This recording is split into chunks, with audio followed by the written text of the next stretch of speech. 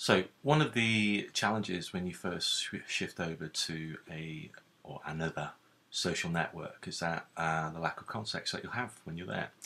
Um, this is just a quick method of importing contacts into Google Plus um, from one of your other social networks that you may have. Um, and for this example, I'm just going to use uh, LinkedIn. And if you go to this URL, which i will put in the description area of this video, uh, linkedin.com forward slash address book export, you'll get this page. And this enables you to export all of your LinkedIn contacts as a CSV file. And the format you want is Microsoft Outlook.csv, as this is the format currently uh, preferred by Google+. Once you're there, just click Export uh, you'll probably be pre presented with a CAPTCHA.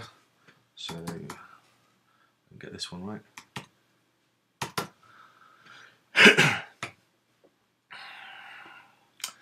and that will go to your downloads folder. Once you've got the actual file from downloads, go to Google Plus, then click on circles, and then click on find people and then all you need to do from here is just click on the I just hide that folder because it's just come in. Upload address book. Navigate to the export. And it will automatically start uploading. And then all of your contacts that you've exported from LinkedIn will then appear within here. Then all you need to do, um, what I've done is just set up a circle for LinkedIn contacts. You can see it down here. Um, you can see it, it's just um, a connection problem I've got at home at the moment. Um, you'll see them all in here and I've actually um, done it already.